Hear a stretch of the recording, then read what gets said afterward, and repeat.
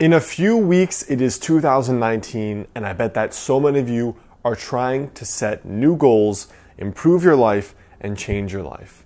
Now, I'm actually going to be doing a brand new series on how to reinvent yourself, which I think I started but kind of flaked on. But this video is the very first step, the starting point of all achievement. Now, I bet you think I'm going to talk about setting goals or having some kind of vision of the future, but I'm not. Now, in this video, let's talk about what I truly believe to be the very first step on the road to reinventing yourself. You excited?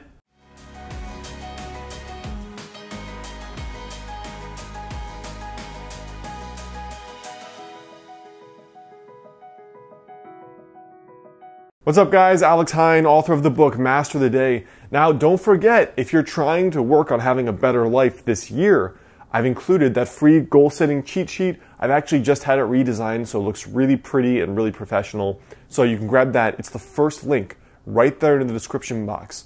You'll also get a daily, I think daily or weekly email course on goal setting and goal achievement. So click that link, get your email in there, sign up, and we'll get back to the video. When it comes to the starting point of all achievement, it begins with a very simple but subtle belief.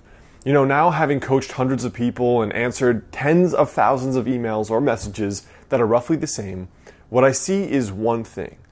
And it's that people end up quitting before they ever really start. They say it's so difficult and they really haven't done anything yet. Now, my story may help you realize what I've had to go through to get to where I am and the subtle mindset shift. I want you to let me know if you spot it because this is the real secret of the secrets.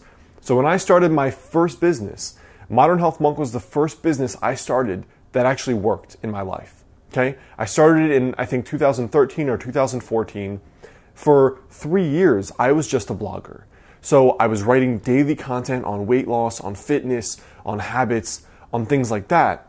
And then eventually, what happened was after two years, I was getting sick and tired of doing the same thing. I was getting sick and tired of writing the same fitness articles, sick and tired of the daily routine looking the exact same. So what I ended up doing was I started experimenting just with one hour per day. And the next idea that I had was let me start creating online courses. So online courses, they were thrilling and interesting and new and growth oriented for a while, but eventually that got old too. The next thing from there was writing my first book, Master the Day. That occupied a whole chunk of my time, that hour a day for whatever, six months or a year. And then after that, I wrote a few more books because that was really exciting. And then after that, I was looking again for something new. That something new was YouTube. I just uploaded a few videos, I was having a lot of fun, they were getting good feedback, and now YouTube has blown up for me. And now this has been so much fun and has opened all these new doors for everything for community, for connection, new opportunities, doors that I never knew would be opened. Now, after YouTube, new things have yet again begun. No, in my personal life, I entered a doctorate in Chinese medicine and realized this is my real passion. This is what I love, in addition to YouTube and creating content and writing books. So you see this brick after brick after brick after brick after brick after brick. It's just like following this ladder progression of all these things that I never would have been able to predict.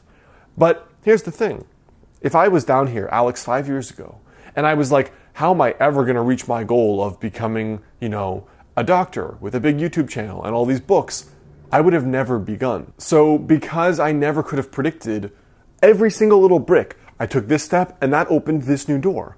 I opened this door, the YouTube door, and now that opened all these other doors. If I never started on the first brick, the first step of the staircase, I never would have been able to see the 10th step, which is where I am now.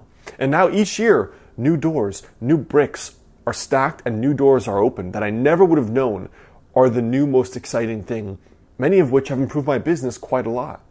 And so the first step that I see as being the essence of all goal achievement is the ability to step and commit 100% to where you are right now, whatever that project is, before you see the whole staircase.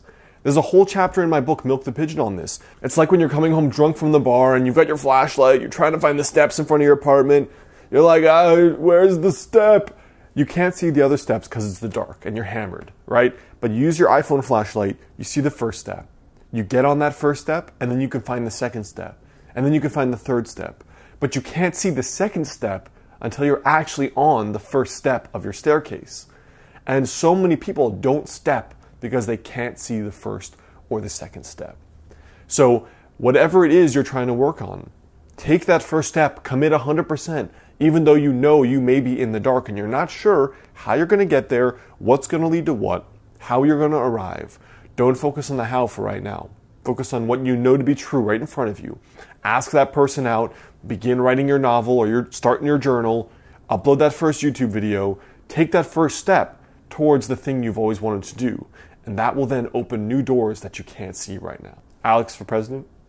All right, guys, so I hope that helps. That is the very first video, and I think the most important because having coached a lot of people, I see a lot of people that fail to act because they can't see the whole staircase. And that's just not how it works in any successful person. So don't forget, I've also included that free goal setting worksheet. You can plan out your year. I just had it redesigned. It looks pretty and fresh. And also, you're going to get a weekly email series on goal achievement and how I reinvented myself. So check that out, the first link in the description box there below.